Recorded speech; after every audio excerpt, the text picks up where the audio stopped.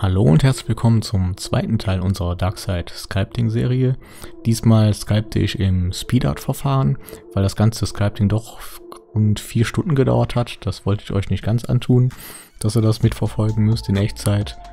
Und ja, wir fangen an mit den Händen.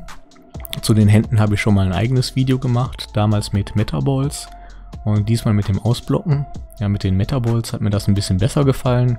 Dieses Ausblocken hier, da musste ich doch schon sehr stark kämpfen, um da eine anständige Hand oder halbwegs anständige Handform hinzubekommen. Ja, vielleicht beim nächsten Mal arbeiten wir da wieder mit ähm, den Metaballs.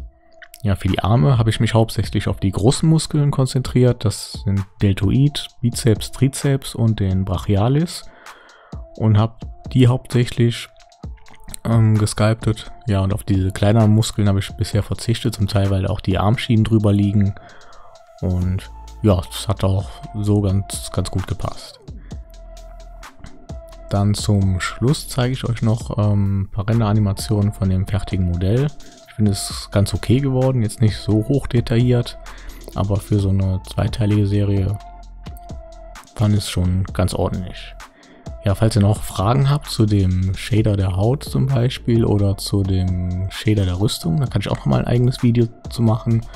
Ihr könnt die einfach in den, die Fragen dann in die Kommentare reinschreiben.